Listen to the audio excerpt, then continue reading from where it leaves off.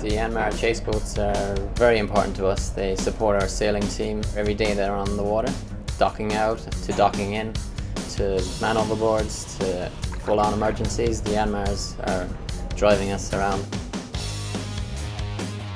Yanmar is critical for this program. I mean, the boats are so fast now that the only way we can have our chase boats keep up with us is they've got to be powered by the right engines. I mean, speed's one, but also reliability is key. We just can't afford for one of those boats to go down. If we have a capsize and one of our chase boats isn't there, we're unable to right the boat. We might not have someone there to take an injured person to hospital, whatever it may be. So they're just as important as the sailing boat, and Yanmar's been a great partner for us. We have two 46 foot uh, Naiads and they're driven by two Yanmar 370 diesel engines. The Yanmar's a huge uh, component to our on-water safety program and our performance program as well.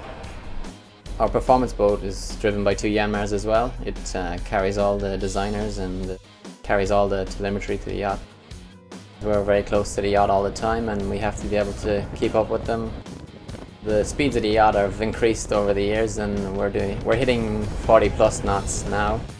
Reliability and high performance is what we're looking for with those boats and Yanmar are delivering that.